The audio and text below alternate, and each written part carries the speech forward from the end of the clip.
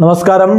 റാഫ്റ്റോ ക്രിക്കറ്റിലേക്ക് അവർക്കും സ്വാഗതം. ഇന്ത്യയും ഇംഗ്ലണ്ടും തമ്മിൽ നടക്കുന്ന ടെസ്റ്റ് സീരീസിലെ മൂന്നാമത്തെ ടെസ്റ്റ് നാളെ അഹമ്മദാബാദിലെ മൊട്ടേറ സ്റ്റേഡിയത്തിൽ നടക്കുകയാണ്. ഈ മത്സരത്തിന് മുന്നോടിയായിട്ട് ഇരു ടീമുകളുടെയും പ്രോബബിൾ ഇലവൻ എങ്ങനെയായിരിക്കും? സ്വാഭാവികമായിട്ടും ആരാധകരുടെ മനസ്സിലുള്ള ഒരു പ്രധാനപ്പെട്ട ചിന്ത ഇതായിരിക്കും. അവർ ഇക്കാര്യത്തിൽ ഇപ്പോൾ ചർച്ചകൾ നടത്തുന്നുമുണ്ടാകും.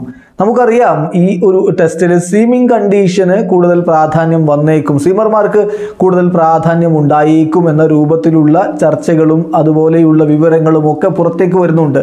അതുകൊണ്ട് ഇന്ത്യ തങ്ങളുടെ ഇലവനിൽ മൂന്ന് സീമർമാരെ ഉൾപ്പെടുത്താനുള്ള സാധ്യതയുണ്ട്. ഉമേഷ് യാദവിനെ ഇന്നലെ അദ്ദേഹത്തിന്റെ ഫിറ്റ്നസ് ടെസ്റ്റൊക്കെ പൂർത്തിയാക്കിയതിനു ശേഷം ടീമിലേക്ക് ആഡ് ചെയ്തിട്ടുണ്ട്. അതുകൊണ്ട് തന്നെ അദ്ദേഹം കളിക്കുമോ എന്നുള്ളതാണ് ഒരു പ്രധാനപ്പെട്ട ചോദ്യം. മുഹമ്മദ് സിറാജ് അതുപോലെ ഉമേഷ് യാദവ് ഈ രണ്ട് താരങ്ങളിൽ ആരായിരിക്കും ആദ്യ ഇലവനിൽ ഇടം പിടിക്കുക എന്നത് കണ്ടറിയണം. കുൽദീപ് യാദവിന് എന്തായാലും ഈ ഒരു ടീമിൽ ഇടം ലഭിക്കാനുള്ള സാധ്യത കുറവാണ്. ഇനി ഇംഗ്ലണ്ടിന്റെ കാര്യത്തിലേക്ക് വരികയാണെങ്കിൽ അവരുടെ സാക് റോളി പരിക്ക് മാറി മടങ്ങിയെത്തിയിട്ടുണ്ട്. അദ്ദേഹത്തിന് ആദ്യ ടെസ്റ്റിന് മുന്നോടിയായിട്ടാണ് പരിക്കേറ്റത്. അദ്ദേഹം സ്ലിപ്പായി വീഴുകയും അദ്ദേഹത്തിന്റെ ആ, കൈക്ക് പരിക്ക് പറ്റുകയും ചെയ്തിരുന്നു. അതുകൊണ്ട് ആദ്യത്തെ രണ്ട് ടെസ്റ്റ് അദ്ദേഹം കളിച്ചിട്ടില്ല. അദ്ദേഹം മടങ്ങിയെത്തുമ്പോൾ റോറി ബേൺസിന് അദ്ദേഹത്തിന്റെ സ്ഥാനം നഷ്ടപ്പെടാനുള്ള സാധ്യതയുണ്ട്. അപ്പം ജോണി ബെയർസ്റ്റോ മൂന്നാം ടെസ്റ്റിനുള്ള ടീമിലേക്ക് എത്തുന്നു. ജോഫ്രെ ആർച്ചർ പരിക്ക് മാറി വരുന്നു. അതുകൊണ്ട് ഇംഗ്ലണ്ടിന്റെ ആദ്യ ഇലവനിലും മാറ്റങ്ങൾ ഉണ്ടാകും നമുക്കൊരു പ്രോബബിൾ ഇലവനിലേക്ക് ഒന്ന് പോകാം.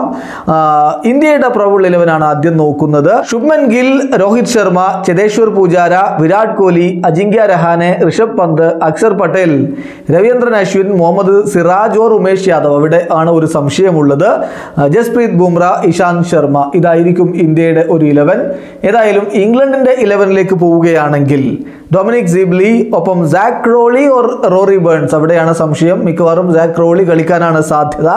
Joe Root Ben Stokes Jonny Bairstow Ben Foakes Ollie Pope Dom Bess Jack Leach Jofra Archer Jimmy Anderson ഇതായിരിക്കും മിക്കവാറും ഇംഗ്ലണ്ടിന്റെ ഒരു പ്രബിൾ ഇലവൻ നമുക്ക് ഈ മത്സരം വളരെ പ്രധാനപ്പെട്ടതാണ്. കാരണം ഒന്നേ ഒന്നിന്റെ സമനിലയിൽ നിൽക്കുകയാണ് ടെസ്റ്റ് സീരീസ് ഇംഗ്ലണ്ട് ഒരു ടെസ്റ്റ് കൂടി വിജയിച്ചാൽ ഇന്ത്യയുടെ ആ ഒരു വേൾഡ് ടെസ്റ്റ് ചാമ്പ്യൻഷിപ്പ് ഫൈനൽ എന്ന മോഹം തകർന്നു പോകും. അതുകൊണ്ട് അങ്ങനെ ഇംഗ്ലണ്ടിനെ വിജയിക്കാൻ വിടാൻ ഒരിക്കലും ഇന്ത്യൻ ടീം തയ്യാറാവില്ല. കടുത്ത പോരാട്ടം നമുക്ക് പ്രതീക്ഷിക്കാം. മികച്ച പ്രകടനം നടത്തി വിരാട് കോഹ്ലിയും സംഘവും വിജയിച്ച് കയറുന്നതിന് വേണ്ടി നമുക്ക് കാത്തിരിക്കാം. കണ്ണും കാതും തുറന്ന് മൊട്ടേറ സ്റ്റേഡിയത്തിലേക്ക് ഉറ്റുനോക്കിക്കൊണ്ട്. വീഡിയോ അവസാനിക്കുന്നു.